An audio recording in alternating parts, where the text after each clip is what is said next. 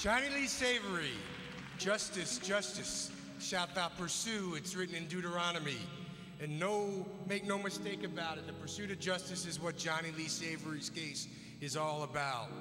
Johnnie's journey began in 1977 in Peoria when, as a 14 year old boy, he was picked up out of junior high school and taken to a police station. No parent or guardian was by his side. He was grilled relentlessly for 36 hours. The days turned into nights, the nights turned into day. They browbeat him into giving a confession to a crime he did not commit. Never mind that the facts of the confession did not fit the crime. Never mind that there was evidence that they suppressed that would have shown that he was innocent. They got their man, they got a boy, and they convicted him and sentenced him to 50 to 100 years that conviction was reversed. They weren't allowed to use the confession. And what did the prosecutors do then? They manufactured a case against Johnnie Lee Savory. They made a deal with somebody in prison and got him and his mother and his sister to testify that Johnnie had made comments against him.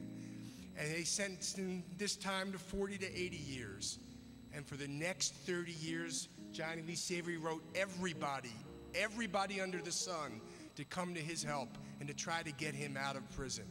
30 years of letters, and finally, last December 2006, Johnnie Lee Savory was released. But he is not free today because he is still a guilty man in the eyes of the state of Illinois. And Johnnie Lee Savory is innocent. And what we are asking for you to do today is to help Johnnie get the DNA testing that will prove once and for all not only that he's innocent of the murder of two teenagers in Peoria, but that someone else is guilty of that crime. We need you to call Governor Blagojevich. That's your action plan. Call Governor Blagojevich and say, we want DNA testing for Johnnie Lee Savory.